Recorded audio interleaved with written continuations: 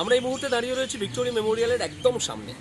শহর কলকাতায় আপনি যদি আসেন, তাহলে দুটো জিনিসে আপনাকে ঘুরতেই হবে, চড়তেই হবে। অবশ্যই ভিক্টোরিয়া মেমোরিয়ালের সামনে যদি আসেন, একটি হচ্ছে এই ঘোড়ায়, অপরটি হচ্ছে ঘোড়ার গাড়ি।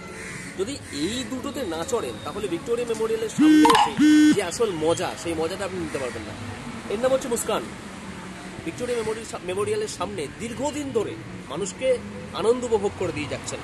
শহর, রাজ্যের বিভিন্ন প্রান্ত থেকে আসা মানুষ হোক কিংবা দেশের বিভিন্ন প্রান্ত থেকে আসা হোক এবং বিদেশের বিভিন্ন প্রান্ত থেকে আসা হোক তাদের মানুষকে এই আনন্দ দিয়ে যাচ্ছে। তার সঙ্গে রয়েছেন সাবিক সাবিক কীরকম কি ভাড়া নেওয়া হয়? কীরকম কি চার্জ নেওয়া হয় যারা চড়ে? তারামণ্ডল মোড় থেকে ঘুরিয়ে আনে একশো টাকা গার্ডেনের ভিতরে গোল করে বা বড় রন ঘোরা ওটা দুশো টাকা। যেরকম বললে সেরকম মুস্কানের খাওয়া দাওয়া কেমন হয়? কি কি খাওয়া দাওয়া করা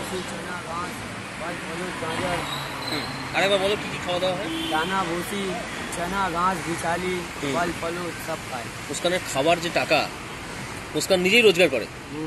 সঙ্গে তোমার খাবার টাকাটাও মুস্কানই রোজগার করে দেয়। হ্যাঁ ওই তাই তো? কীরকম রোজগার হয়?